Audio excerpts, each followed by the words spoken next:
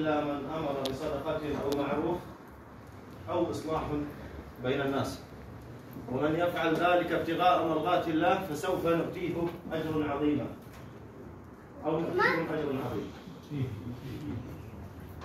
ويقول الحق في كتابه العزيز وسارعوا إلى مغفرة من ربكم وجنة.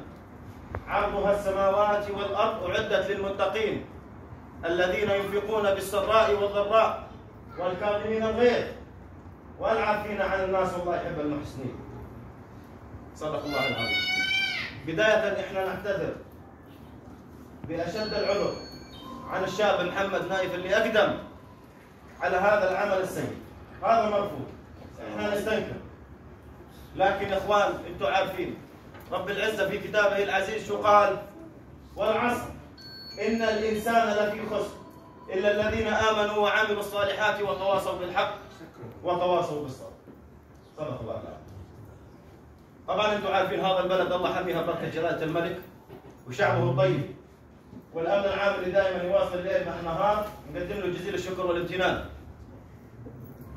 يا إخوان إحنا لازم نطلب بأقصى العقوبات لكل مجرم سفاح وعلى كل إنسان بيعمل بهذا العمل ويقدم على هيك شيء وهذا عمل من الشيطان يا إخوان. لولا الشيطان ما بيقدم على الإنسان والله. كان الدنيا من أول الدنيا ما صارت الفتنة ما كان قابيل قتل أخوه. هابيل هذا الذبح والقتل والجرائم اللي تصير كل يوم هذه كل يوم بتصير. عندنا وعندكم واليوم عندكم وبكرة عندنا. إحنا جيناكم بهذه الجاهة معززة بالاعتراف. وعلى ديوانكم العامة. واللي تجودوا علينا فيها شيخ قاسم إحنا آه، تحت الأمر. ابدا. إحنا معترفين الكفيل موجود. ويقول الرسول عليه الصلاة والسلام تهزم الكعبه حجر حجر أهون من هدر دم مسلم. هذا ما نص عليه الحديث. كل المسلم على المسلم حرام دمه وماله وعرضه. إحنا نطلبها من الله منكم.